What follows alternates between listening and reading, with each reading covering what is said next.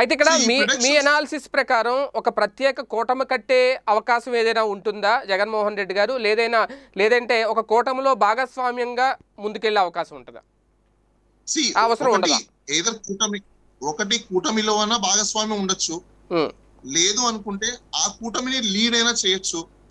లేదు అనుకుంటే ఈయన ఓన్గా అయినా వెళ్ళొచ్చు ఎలా అయినా జరగచ్చు. ఎందుకంటే ఇప్పుడు నాకే తెలియదు Hmm. నేను కూడా ఉన్న Hmm. డేటాని ఉన్న సెగ్మెంట్ని ఉన్న Hmm. ఇన్ఫర్మేషన్ని బేస్ చేసుకొని నేను చెప్పగలుగుతాను తప్ప మీ దగ్గర ఉన్న డేటా ప్రకారం మీ మీ అంచనాల ప్రకారం జగన్మోహన్ రెడ్డి గారు ప్రధాని మంత్రి అయ్యే టార్గెట్ మనం ఎప్పటి వరకు చూడొచ్చు?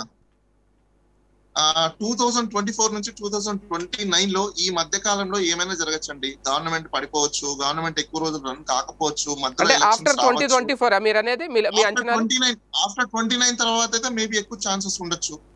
ఎందుకంటే ఈ మధ్య కాలంలో కూడా ఉండొచ్చు. ప్రీ కూడా Hmm. ఉండొచ్చు పోస్ట్ కూడా ఉండొచ్చు. నేను అందుకే ట్వంటీ ఫోర్ నుంచి Hmm. ట్వంటీ నైన్ మధ్యలో ఒకవేళ ఫుల్ ఫ్లెడ్జ్డ్గా జరిగితే ట్వంటీ నైన్ తర్వాత స్కోప్స్ ఉన్నాయని అంటున్నా.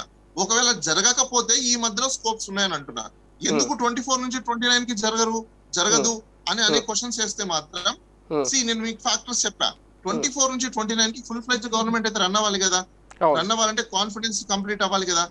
కాన్ఫిడెన్స్ ఎక్కడి నుంచి తీసుకొస్తారు? ఒకవేళ. కాన్ఫిడెన్స్ లేకపోతే ఏం చేస్తారు? ప్రెసిడెంట్ పాలనకి వెళ్తారు. ప్రెసిడెంట్ రూలింగ్కి వెళ్తారు. మరి. ప్రెసిడెంట్ రూలింగ్కి వెళ్ళినప్పుడు డెఫినెట్గా మీకు సిక్స్ మంత్స్ లోపల ఎలక్షన్స్ తీసుకురావాలి కదా? అంటే కంప్లీట్ అయినట్టు కాదు కదా?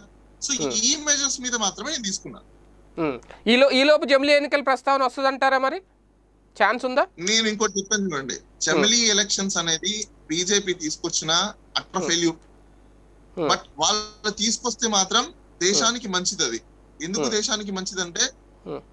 ఆ రోజు దేశ ప్రజలు ఏ విధంగా బుద్ధి చెప్పాలో ఆ విధంగా బుద్ధి చెప్తారు నాయకులకి.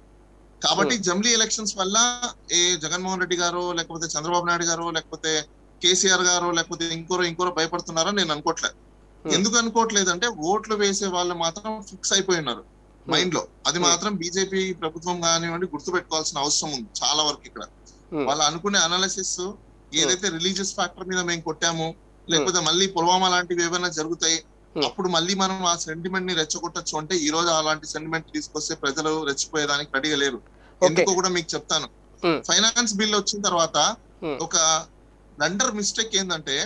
డిస్ఇన్వెస్ట్మెంట్స్ అని చెప్పేసి ప్రైవేటీకరణ చేసి. నేను గవర్నమెంట్లో బడ్జెట్ ఇస్తున్నా.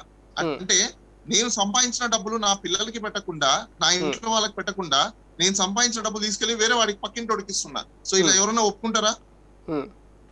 ఎవరు ఒప్పుకోరు సో టాక్సెస్ కట్టిన డబ్బుల్ని ఏ. ప్రైవేట్ కంపెనీ వాళ్ళకి నేను ఉద్రంగా ఇస్తానంటే ప్రజలు ఒప్పుకుంటారా. ఎవరు ఒప్పుకోరు సో ఇవన్నీ ప్రజలు గమనించేశారు సో వాళ్ళు. ఫిక్స్ అయిపోయి ఉన్నారు ఎవరికి వేయాలి ఎవరికి వేయకూడదు. Hmm. ఎందుకు ఇప్పుడు ఈ గవర్నమెంట్ మనం ఉంచాలి అనేది కూడా ఫిక్సేషన్ ఉంది.